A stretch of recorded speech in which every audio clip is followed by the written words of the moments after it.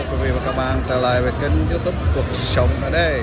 Hôm nay là mời quý vị và các bạn đi à, xem phố đi bộ ở Huế. Phố đi bộ ở Huế rất là đông đúc.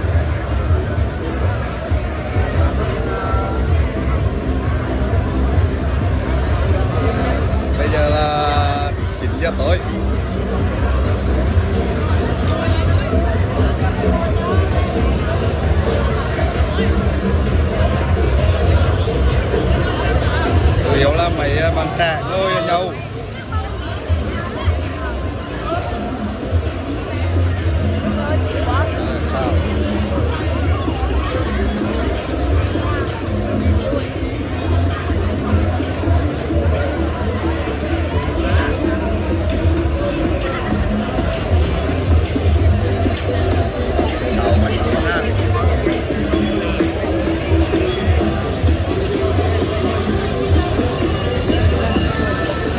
Hôm nay à, tới cuối tuần thứ sáu, thứ bảy, chủ nhật chúng ta tới thành phố đi bộ không cho xe đi vào.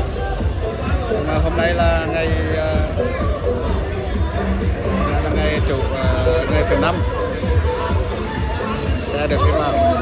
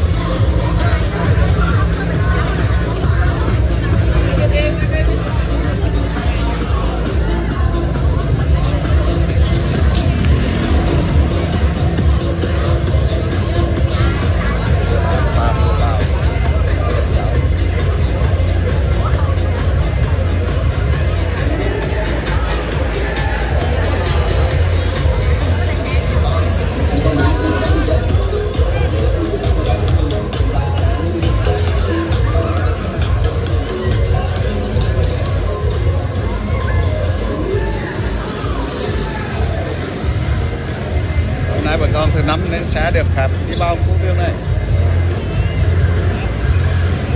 và thứ sáu thứ bảy chủ nhật thì không được phép vào Thank you.